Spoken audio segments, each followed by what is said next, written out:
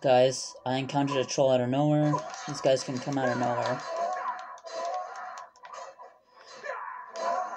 I don't want to attack him. But yeah.